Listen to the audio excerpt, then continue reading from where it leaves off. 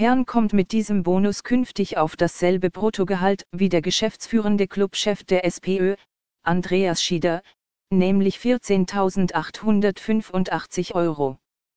Kern wird gemeinsam mit Schieder Clubchef der SPÖ sein.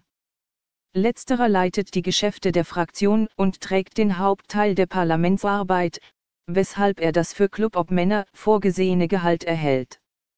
Für Kern gleicht die SPÖ die Differenz aus, wie dies schon bei Alfred Gusenbauer der Fall war, der Josef Kapp als geschäftsführenden Clubchef neben sich hatte. Für Kern bedeutet sein aufgefettetes Gehalt dennoch eine finanzielle Einbuße.